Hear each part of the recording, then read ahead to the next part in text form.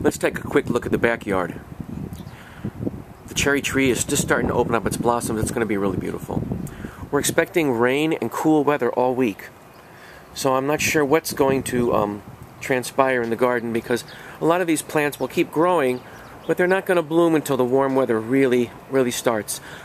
Of course, you see all the daffodils there. They look terrific. And they seem to like this weather.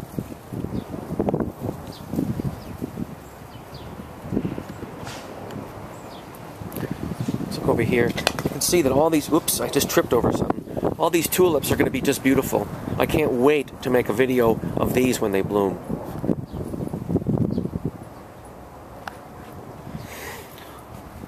There's a hyacinth that's down there, and they like this weather too. I'm not sure whether we can get this. And the glories of the, the, the snow glories, or the glories of the snow, are still doing lovely.